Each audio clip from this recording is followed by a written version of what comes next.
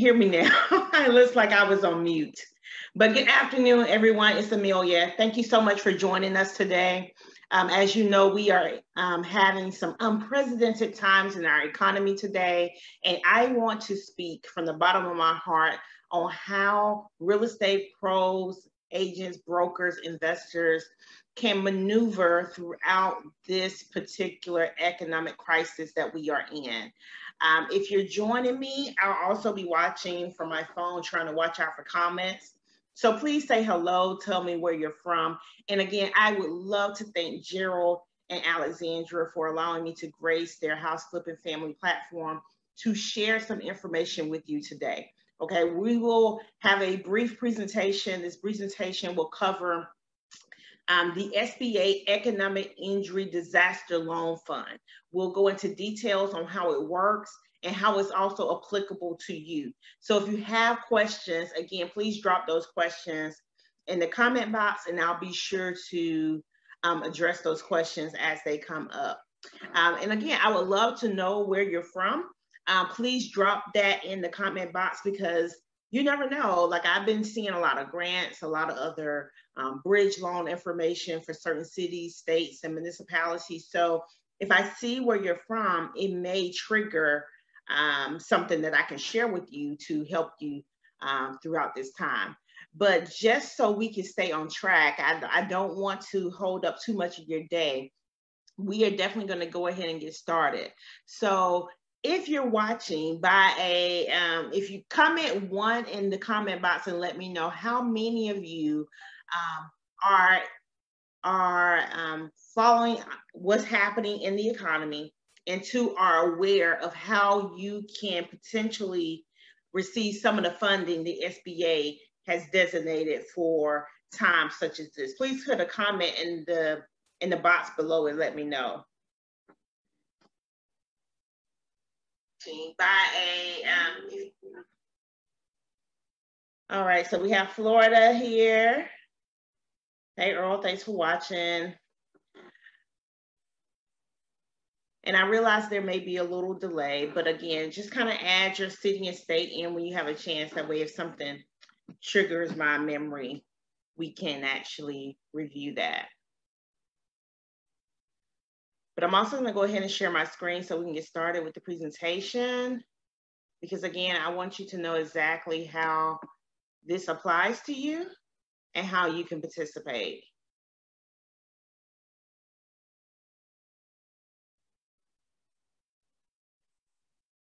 Let's see.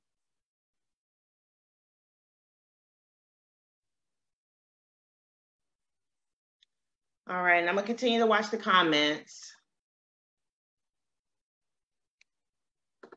Hey, thanks for joining me, Missy from Indiana.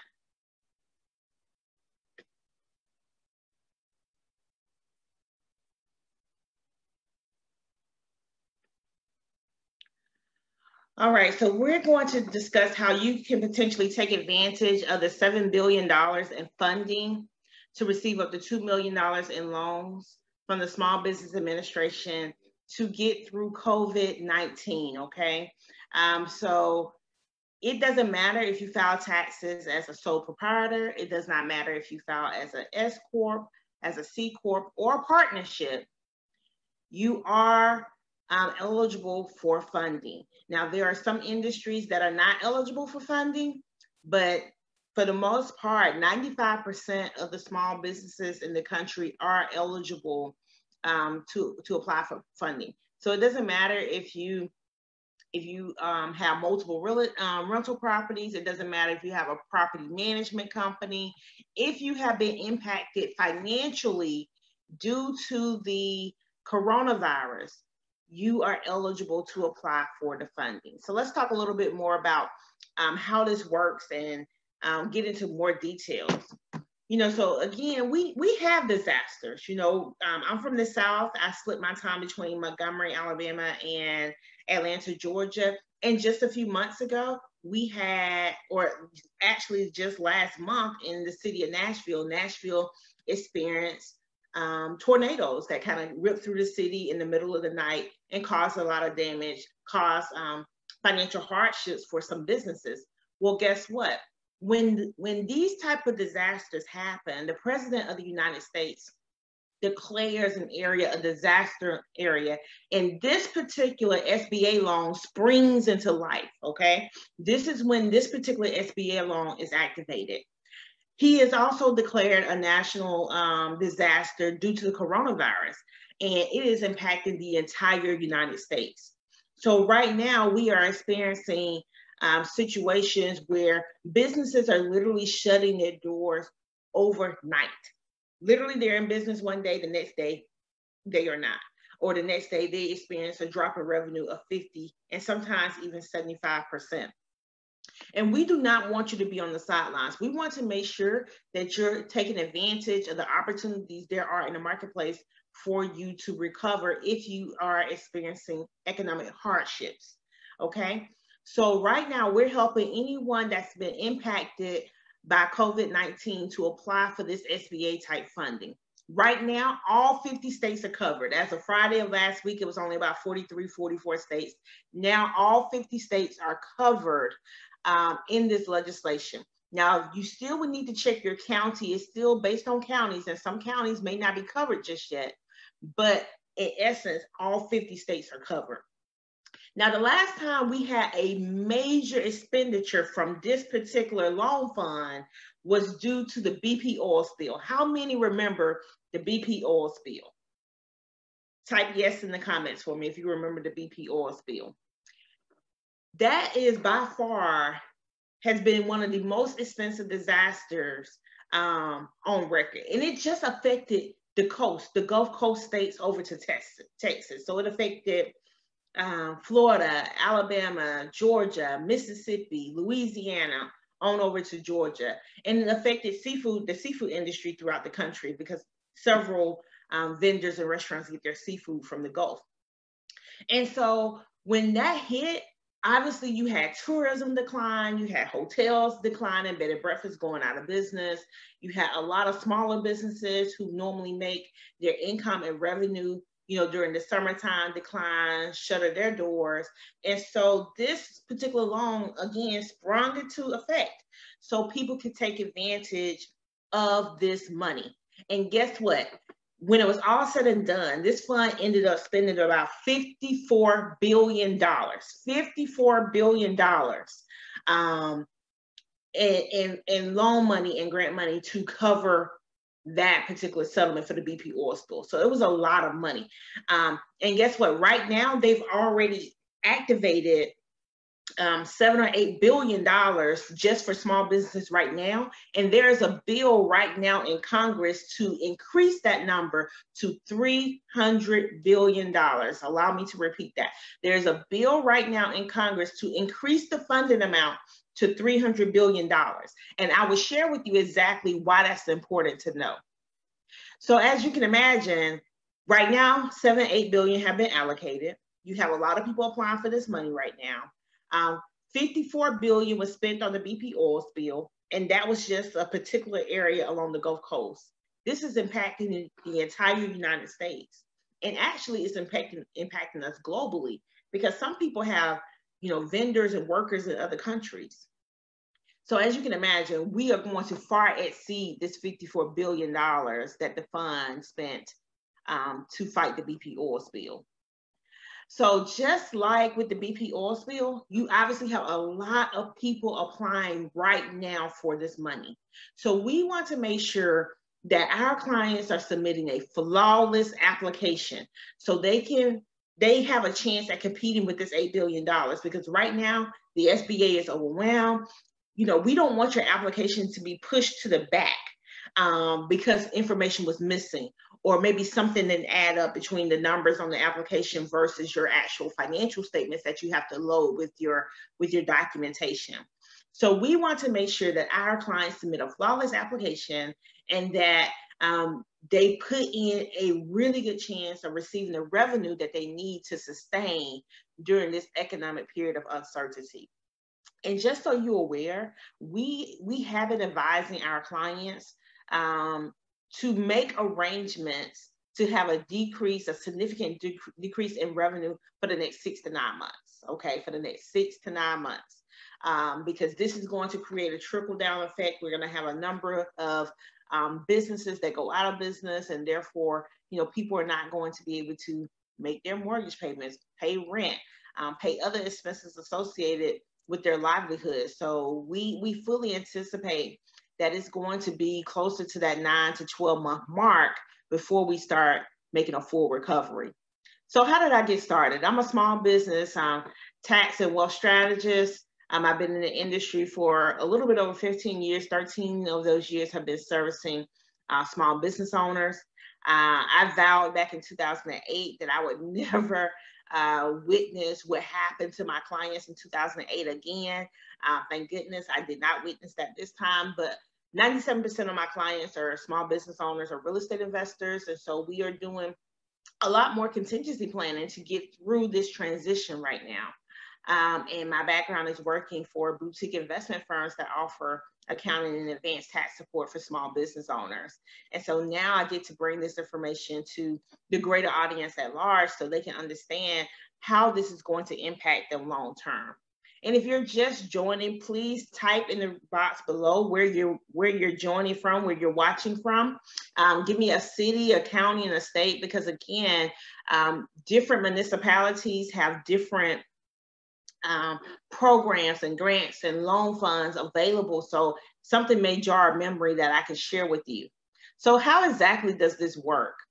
So you are required to submit your most recent federal income tax returns, your personal financial statement, a schedule of liabilities listing all fixed debts, and obviously you're going to um, complete the SBA um, paperwork. Now, before I continue with the other documentations, what's really important for you to know and understand is that this is not a traditional SBA loan, okay? This loan does not, you do not have to go through an intermediary like a different financial institution to apply for this loan. You are applying directly with the SBA and the United States Department of the Treasury, okay? This loan is directly through them. So there is no middle person in terms of a financial institution that you have to go through.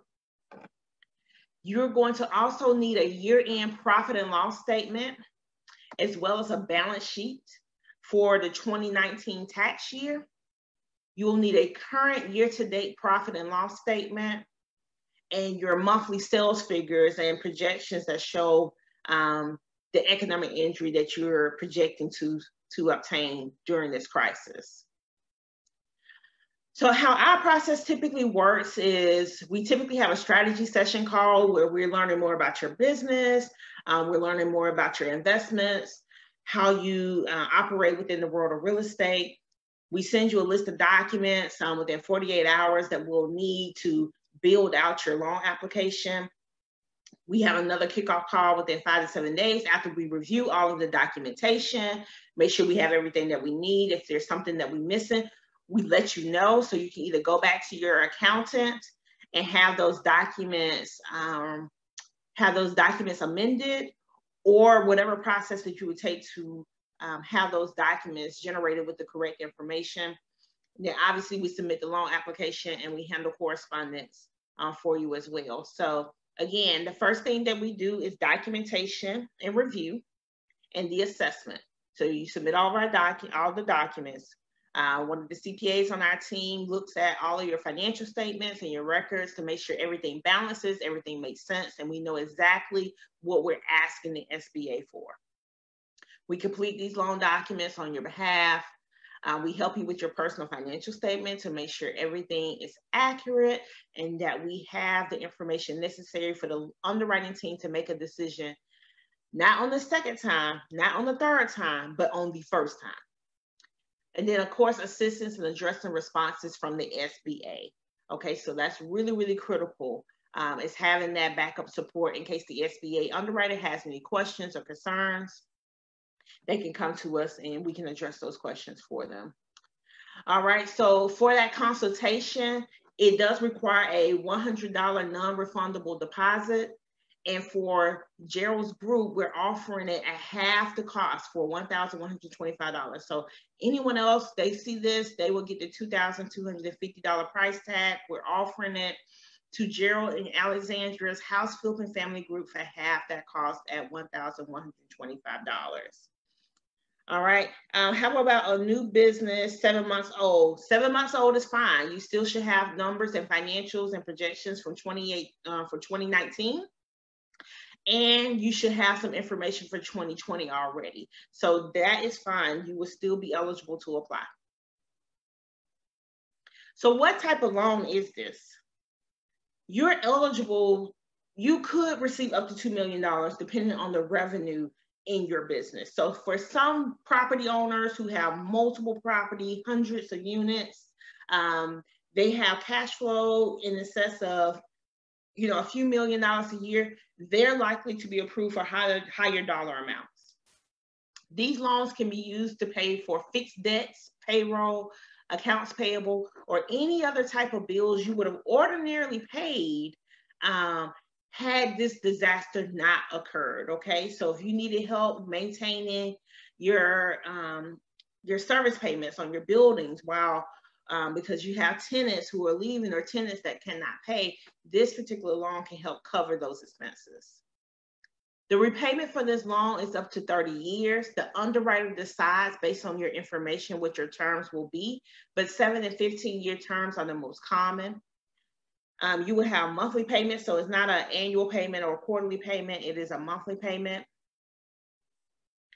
We are fully expecting that the first four and even up to six months of deferrals will be available at the onset of the loan. So that means you won't make a your first payment for at least four to six months in. The interest rates for smaller businesses um, is 3.75%. So again, if you file a Schedule C, a S Corp, a C Corp, um, a sole proprietorship, um, a partnership, 3.75% is the interest rate for you.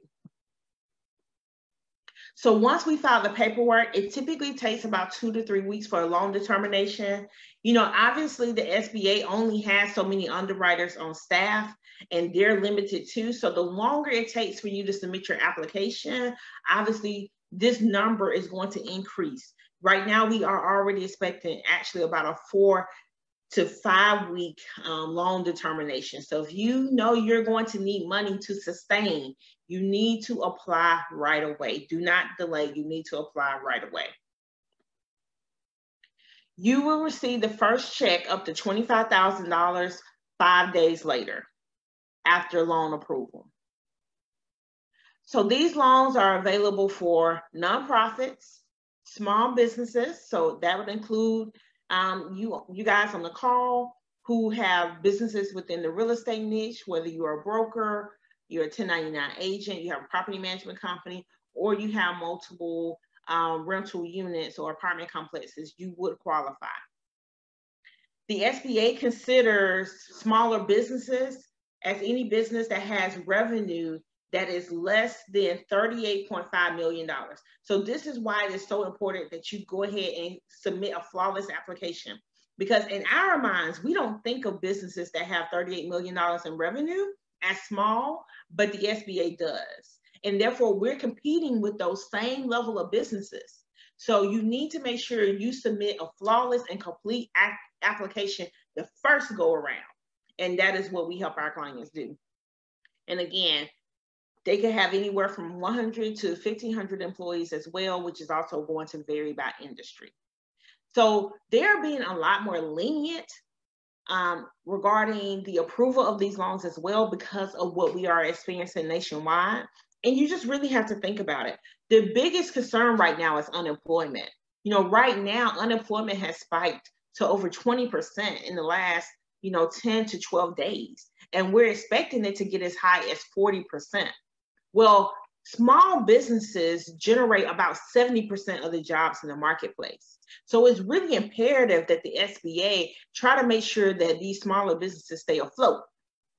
Because if they go down, that means that's more and more unemployment claims. And when the economy does rebound, we will have a significant amount of unemployment because the small businesses could not survive during this economic decline. So they are re- willing and ready to make sure that the small businesses the real estate investors, the brokers, the agents, they get the revenue they deserve um, and that they need so they can continue their operations. Obviously, the SBA does look at credit history. They do look at credit score. I was on a call this past weekend where they encouraged us to help everyone apply who wants to apply. Really, no matter what your credit score is, you just need to document why your score, if your score is um, really low, you need to document that.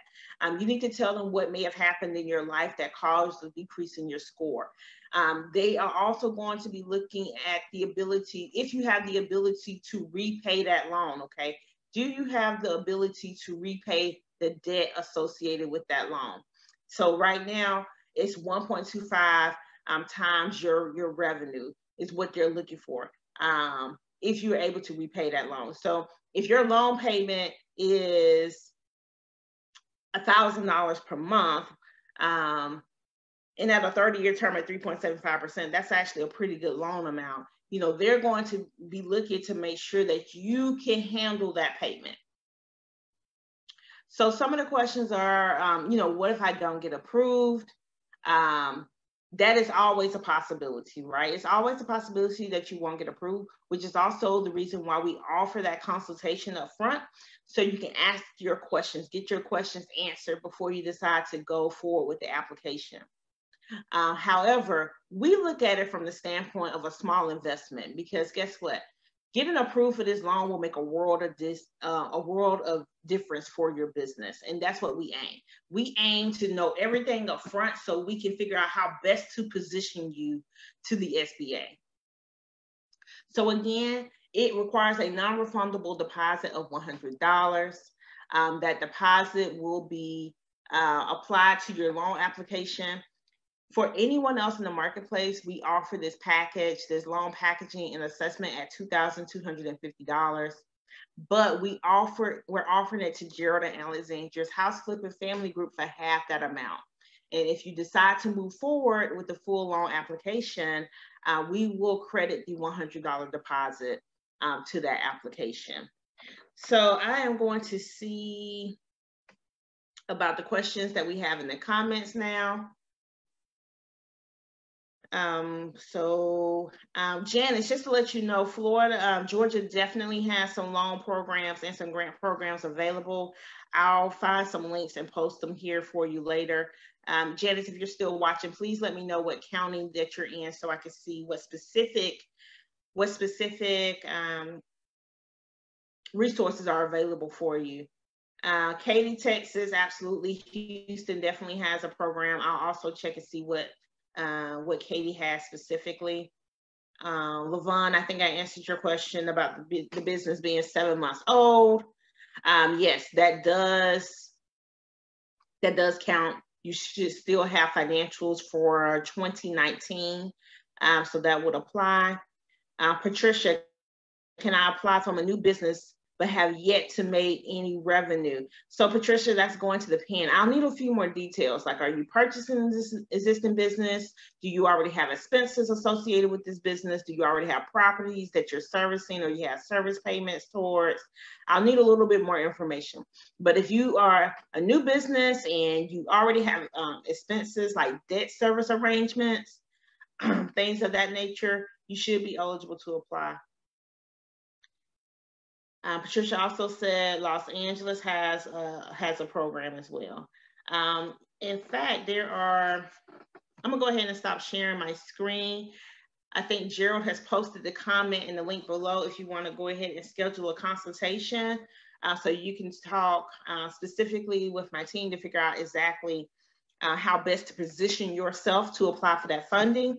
Um, but I'm going to pull up something because I actually have a listing of, I have a listing of um, places that are eligible for additional funding and resources. And I, I just want to share what some of those are right now. And while I'm doing that, I will continue to answer your questions in the comments. Uh, if it's a new business doesn't have tax returns, is the P&L sufficient? So yes, the P&L is going to be a requirement. The balance sheet is also going to be a requirement, and we will also need projections. 2019 tax return does not have to be filed. 2018 tax return is sufficient um, if you do not have that. So I want to find this link so I can share with you some additional resources that are available. And if I can't find this link quickly, I will definitely post it when I have it available. But there are definitely some additional resources per municipality. And if I can't find it, you know, just Google your municipality, your county, your city, and figure out if they have a revolving loan fund, if they have their own personal disaster relief loan fund, um, to figure out if there are additional funds that you can apply for, especially if you have real estate property. Okay, so I can't quickly put my hands on it, but once I do, I'll be sure to put it back into the comments. Um, so some other common questions is if you file for bankruptcy, am I still eligible to apply? Yes, you are. Um, just because you file for bankruptcy or you're still involved in a bankruptcy is not, it's not an automatic uh, means for, the, uh, for decline. Um, if you need more than $25,000, there will be a um, you will have to pledge some type of collateral. Even if the SBA has to take a third or fourth um, lien position or something, you just have to have something that you can pledge. Right now, there are no origination fees or no application fees or loan fees. And to my knowledge, there is not any closing costs, but we have yet to confirm that. And the reason why we don't think there will be any closing costs is because the closing is handled directly with the SBA. There's not a title company involved um, or anyone else. It's literally between you as the applicant and the SBA. Um, let me see if I can put my hands on a few additional questions that people have regarding this particular loan program.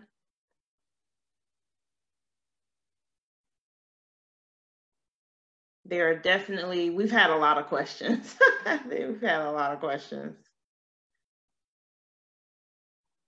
Let's see.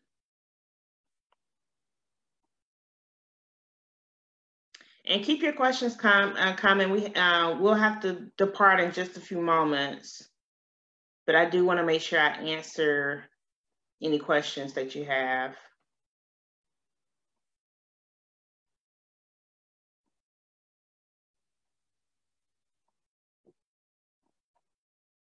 I'll also put a link in the comments below telling you how you can figure out if your county has been declared as one of those counties eligible.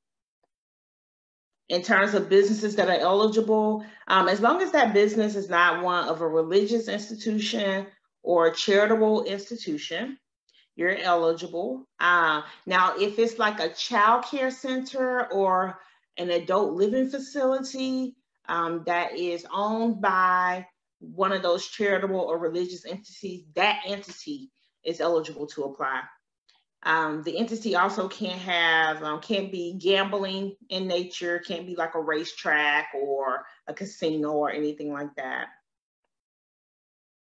Again, the length of time in terms of the business doesn't really matter. What's more so important is if you have um, any financials, projections. If you bought, if you recently bought an existing business and then this happened, we would need the financials that show, you know, how you made the decision to purchase that build business and then any financials that you may have um, that you compiled on your own would be eligible.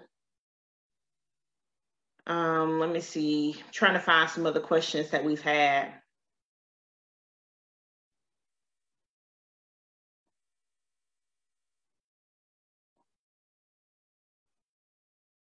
You must have a physical address. That that that actually has been a big thing. Um, you know, most people, a lot of people just use PO boxes. In this case, you a PO box is not acceptable. You must use a physical address, even if it is your home address. So I'll be sure to come back and post some additional resources in the group. Let me just confirm we don't have any final questions before I have to depart. And again, I want to thank Gerald and Alexandra for allowing me to grace their platform. Um, okay, I don't see any additional questions. So I'll be in and out the comments throughout the day. Gerald has already posted the link if you want to schedule that consultation so you can figure out exactly how you can best position yourself to apply for this funding. Again, you want to do this sooner rather than later because you'll have every small business in the country attempting to apply for this money. So you need to get your application in ASAP. And again, we want you to submit a flawless and accurate application the first time, you know, so we can get you approved the first time. Uh, if there are no additional questions, thank you so much for watching. Uh, this is, yes, this is for a business loan based on your personal credit, but the interest rate will not exceed 3.75%. It will not exceed 3.75%. Obviously, the SBA wants to make sure that you have the ability to repay the loan. However, just because you have credit challenges does not mean you're going to be denied. They they understand um, that small businesses um, have challenges financially and that they need um, additional help and resources beyond what you would find in traditional markets. And when we have disasters such as this, they are definitely more lenient in terms of their underwriting because they do not want the business world to decline. So Levon, there is not a minimum credit score. However, traditional SBA loans, like you, were, you would apply for at a regular financial institution, is um, 640 However, if your score is lower than a 640, it does not mean you will be declined. Uh, we just need to make sure that we explain what has happened. And they have said that specifically. Um, in fact, I believe they're going to remove the credit score from the SBA um, disaster loan page because they do not want it to discourage people. So when you click on the link to book your consultation call, there should definitely be, um, we've allocated time each day specifically throughout the week to talk to people about their options regarding the SBA loan funding. So uh, slots should definitely be available for you to book, um, book a call. Okay, so I will come back and hop into the comments and address any additional questions um, as we as we receive those questions. Thank you so much once again, Gerald and Alexandra, for allowing me to grace the platform and to share this information. And regardless, what I do not want you to do is to count yourself out. Do not count yourself out. Let the SBA tell you no. But don't count yourself out. Remember, every shot that you don't take is a guaranteed missed shot. And you actually do have a chance of being approved. So don't count yourself out. Make sure you get your questions answered and let's help you sustain during this economic decline. I hope you're having a great day. And if you have any other questions financially, please let me know. I'll talk to you soon.